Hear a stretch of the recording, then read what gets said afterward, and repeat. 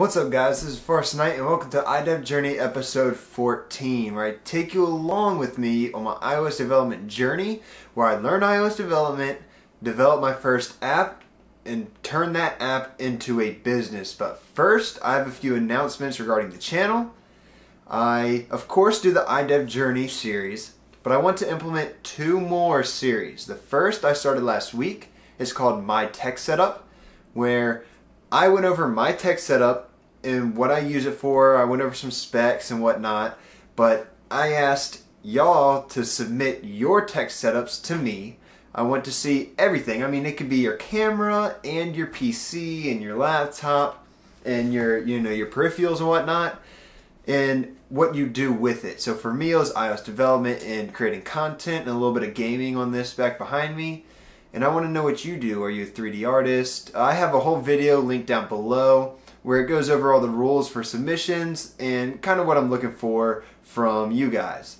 And the second series, or the third series behind iDev Journey and My Tech Setup, would be Rate My App, where you guys submit your apps to me and I review it. I rate it based on, I think I have five categories, 50 points total, so it's uh, 10 points per category and I kind of rate it. Uh, the first experience, so kind of it, once I open the app, I'm like, okay, I like this, or I don't really understand what I'm supposed to do. You know, you want to make sure the first experience is a good one.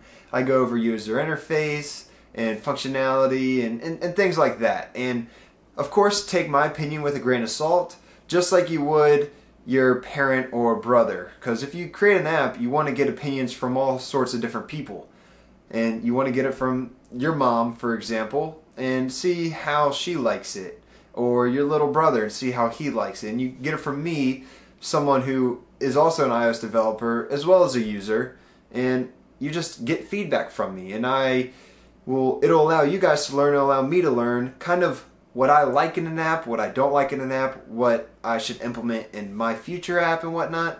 And I think it'll just be a good learning experience for everybody, as well as exposure for y'all, for your tech setup and for your app. And of course, I would want you guys to include any type of social media outlet you have so you guys get exposure. Because as I grow this channel, if you submit your app or your tech setup, your video will get more and more views and then you'll get more and more traffic to your website or whatever it may be.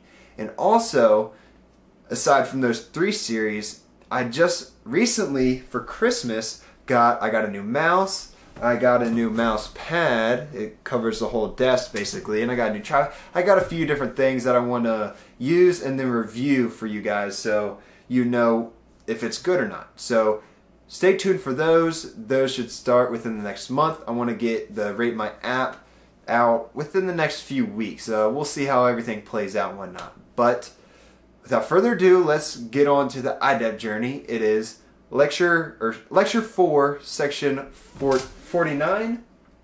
It is section 4, lecture 59, exercise auto layout. So basically what it, what we want to do with auto layout is say you have an iPhone 4.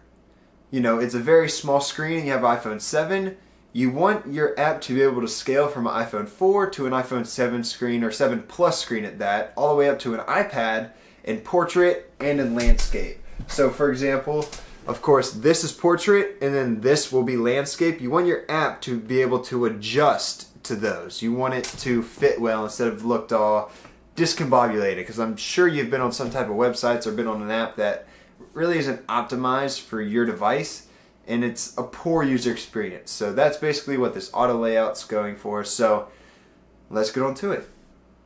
So here at section 4, lecture 59, exercise auto layout. Like we just discussed, we want the screen to look the same on each device. As you can see, we want to build a layout that looks like these images on the various screen sizes. iPhone 4 inch, iPhone 5.5 inch landscape, and iPad portrait as you can see, all of them are very similar. You can tell it's the same app, but we want it to adapt to the screen. You know, we want we don't want a little box like say this right here. We don't want this. Uh, well, we don't want this little iPhone 4 inch to be in the middle of an iPad. We want it to stretch properly. So let's go go ahead and start that. What you'll see on your screen is me creating this app uh, about three times the speed. So if you want to follow along, just lower the settings on YouTube. I mean, keep the quality, but lower the speed, I mean. So lower it to 0.5 or, or something around there, whatever suits you if you want to build it with me. Starting off, we just make a simple single view application in Xcode. I named it exercise auto layout. We're only going to be messing with the main .storyboard, no need for view controller or any code. We're, we want all of the data that's used on the UI to be in the main .storyboard, at least as much as we can. So we start off by creating the, the top box. We want, and what I did was just make the color similar to what they were in the examples. We want to duplicate so we have the same exact size boxes at the bottom. And of course we have to set our constraints. So we want to attach these, you know, set the constraints 0 to the edge. And I also set a height constraint on the box at top. The bottom left, you want the left and the bottom constraint on and width and height since it's a square and it doesn't need to stretch. And of course the bottom right, we attach that to the right and the bottom. And what I did was control alt equals and that basically adapted the constraints. It, it updated the frames. Since it was very skinny on the iPad, I figured I would make it a little bit a little bit taller. And what you just saw is I added in, I introduced a variation. And since that seemed a little bit too easy, I add, I want to add in labels. So on iPad, I wanted to say iPad, and on the iPhones, I wanted to say iPhone.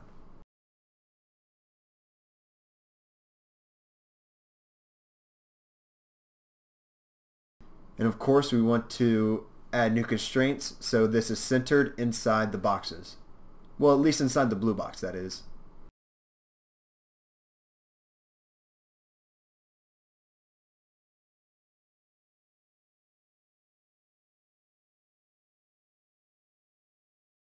So right now we made it say iPad and we're going to start off with the 6S Plus.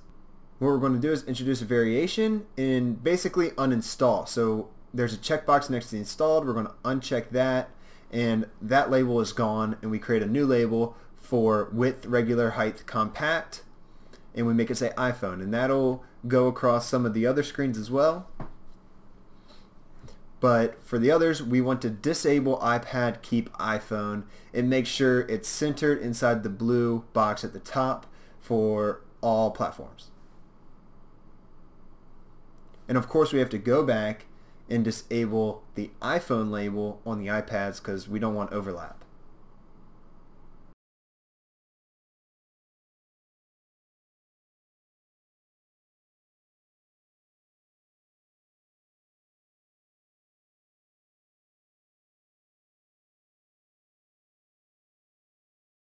The iPhone SE, of course, is different from the others. Therefore, we had to independently disable iPad.